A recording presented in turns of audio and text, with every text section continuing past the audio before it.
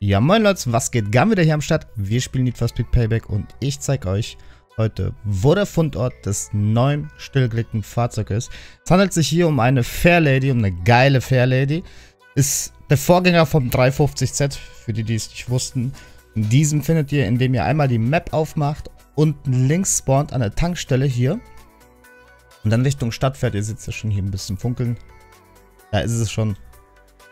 In die Richtung fährt dann noch ins Auto einsteigt, nach Hause fährt. Das war's. Und das Auto gehört euch. Das Auto selbst ist ein Racer, Stärke 203 ganz am Anfang. Wie immer könnt ihr es auf 399 tun. Mehr brauche ich dazu nicht, glaube ich, zu sagen. So Leute, ich hoffe, das Video hat euch weitergeholfen. Wenn ja, dann lasst doch bitte einen Daumen nach oben da. Falls ihr Fragen habt zum Game oder sonst irgendetwas, gerne in die Kommentare rein, Leute. Und wenn ihr keine weiteren Videos verpassen wollt, wie Need for Speed, Anthem, Apex oder Forza Horizon 4, dann lasst ein Abo da. Ansonsten wünsche ich euch noch einen schönen Tag.